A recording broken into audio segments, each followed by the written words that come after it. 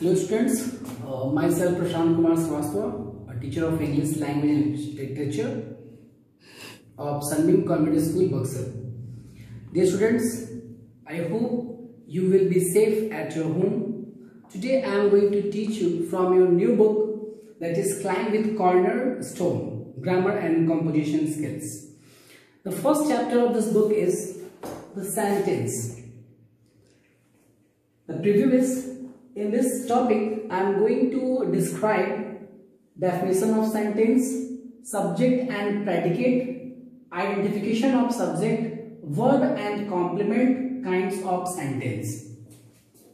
Before this I am going to write the definition of sentence before you just have a look on that. A sentence is a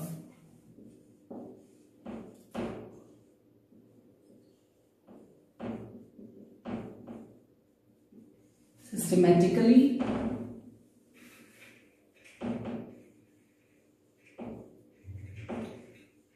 arranged group of words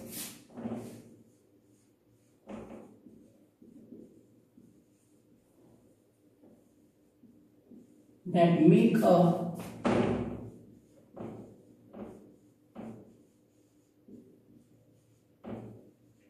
complete sense and ends in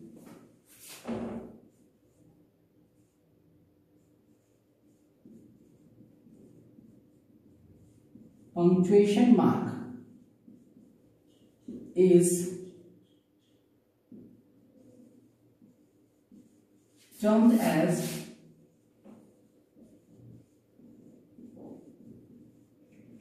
a sentence.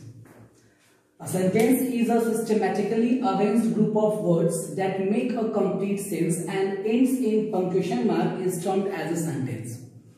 My dear students, only the collection of words cannot be a sentence if it is not arranged systematically. In order to understand this concept, the sentence better, let us examine some examples in the light of the definition furnished above. Let us take example to understand this.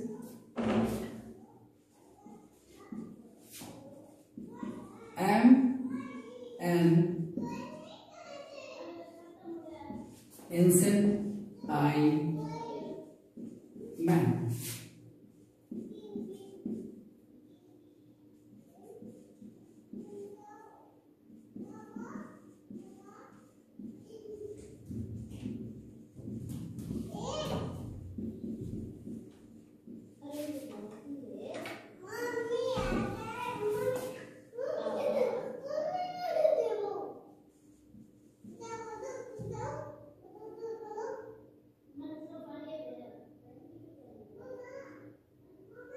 Mm-hmm.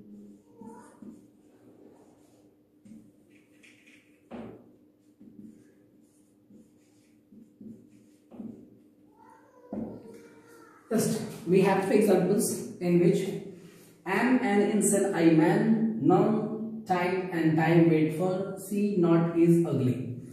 These are mere collection of words, but they are not a complete sentence because they are not giving a complete sense. So what would be the right form? The first is am I an insane man question mark time and tide waits for none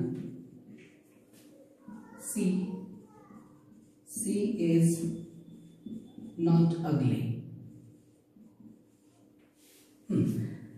what did we see we have seen that only the systematic arrangement of words that give a complete sense is called a sentence. Now, after that, we have to study the segment of sentences.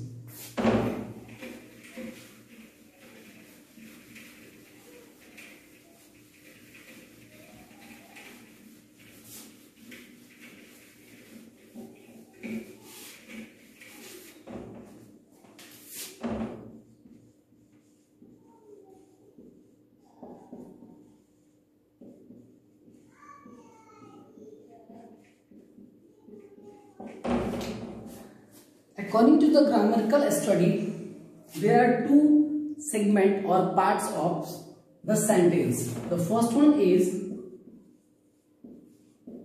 subject and the second one is predicate.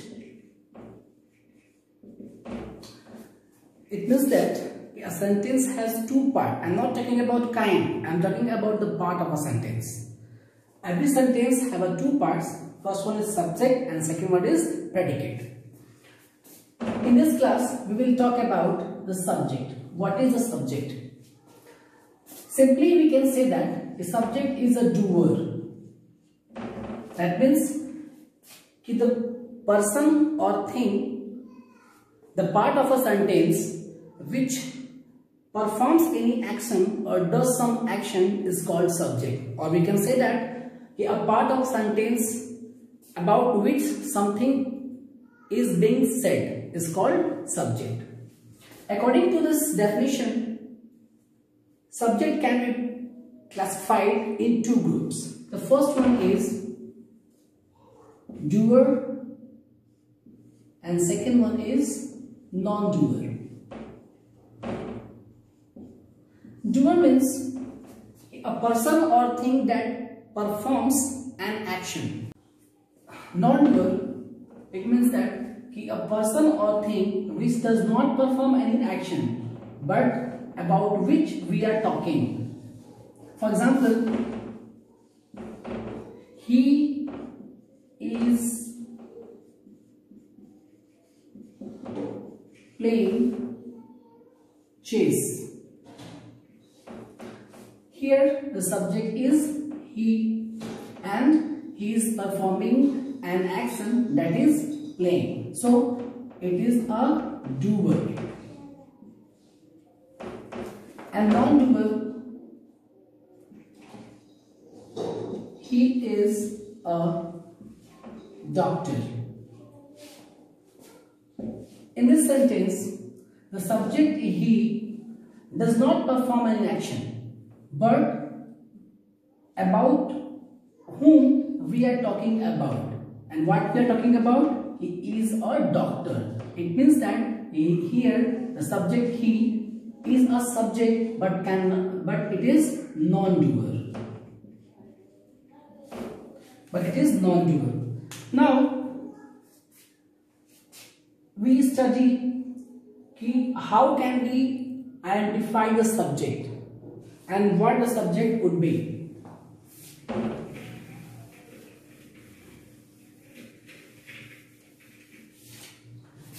A subject, a subject can be a noun, it can be a pronoun, it can be a gerund, it can be a infinitive it can be an adjective and group of words. A subject can be a noun, a subject can be a pronoun, a subject can be a gerund, infinitive, adjective, group of words.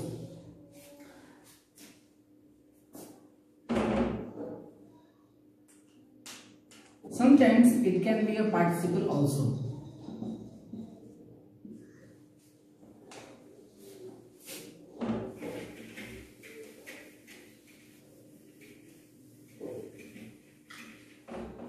Now, how do we identify the subject?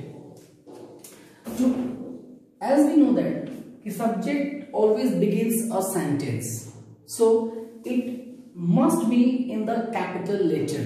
It begins with a capital letter. Second one is that we identify a subject by asking question from who or what with the help of verb like this who plus verb or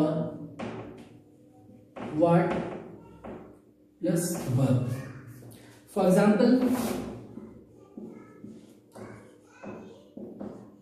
the driver applied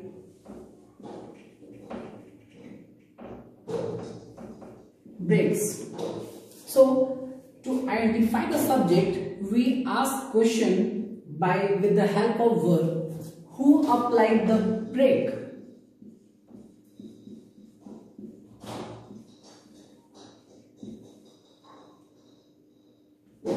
Who applied brakes and what would be the answer? The answer is driver. So the driver is subject and applied is verb. Hmm. Now, next example. The train came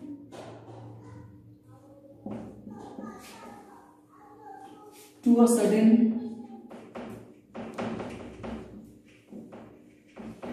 halt.